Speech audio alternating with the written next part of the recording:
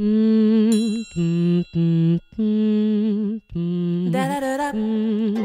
je suis Isla et je suis chanteuse.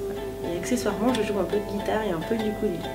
Je peux être inspirée par euh, beaucoup de choses différentes. Ça peut être euh, à la fois inspiré par du blues, de la soul, un peu de jazz, un peu de folk. J'écoute un peu de tout et Pipo Productions organise des after-work les 19, 20 et 21 septembre.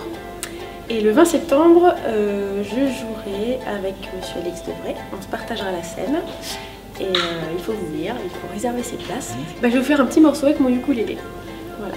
C'est super. Merci. Merci, à toi.